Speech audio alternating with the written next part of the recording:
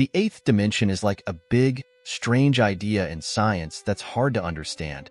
Imagine our universe as a giant piece of paper.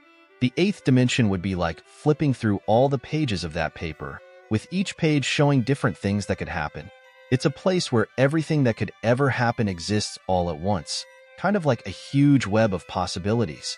In this dimension, the beings would be super smart about how things happen and how likely they are to happen. They could move through all these different possibilities like it's easy for them. Time wouldn't be a straight line for them. It would be more like a mix of everything happening all at once. These beings could do some amazing things, like maybe change how things turn out in different situations. But we're not sure if they really exist or not. It's just a big mystery we're trying to figure out. The ninth dimension is another wild idea in science that's even harder to wrap your head around. It's like going even deeper into the weirdness beyond our regular understanding of space and time. Imagine our universe as this big bookshelf, but instead of books, each shelf holds endless possibilities stacked on top of each other. In this dimension, beings would be super duper beyond smart about how everything works. They could zoom through all these different possibilities like it's no big deal. Time wouldn't even be a thing for them. It'd be more like a crazy mix of everything happening all at once.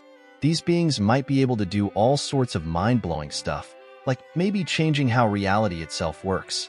But, just like with the eighth dimension, we're not sure if they're real or just a mind-bending idea we're still trying to figure out. Don't leave yet, because we still have the 10th dimension.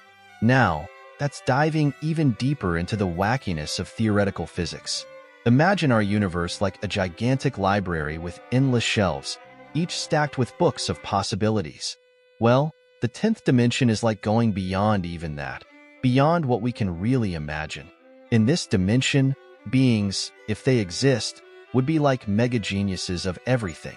They'd zip around through all these wild possibilities like it's second nature to them. Time wouldn't be a thing they'd worry about. It'd be more like a crazy mix of everything happening all at once, and they'd probably have a say in how it all plays out. These beings, if they're out there, could be doing all kinds of unbelievable things, like maybe shaping the very fabric of existence itself. But hey, just like the eighth and ninth dimensions, we're not sure if they're real or just some mind-bending idea we're still trying to wrap our heads around. Make sure to drop a like, and don't forget to subscribe. What's wrong?